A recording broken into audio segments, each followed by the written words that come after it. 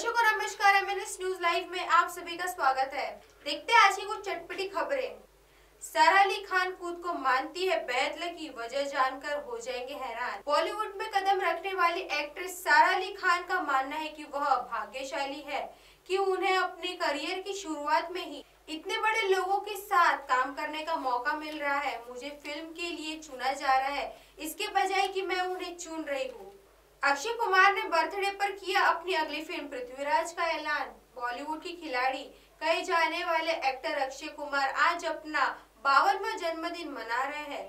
इसी खास मौके पर अक्षय कुमार ने अपनी अगली फ़िल्म का ऐलान किया है। अब जापान में रिलीज़ होगी गली बॉय रणवीर सिंह बोले, गर्व की बात। यह फ़िल्म अक्टूबर में जापान में रिलीज़ होने जा रही है। इस बात से रणवीर सिंह काफ़ी खुश है।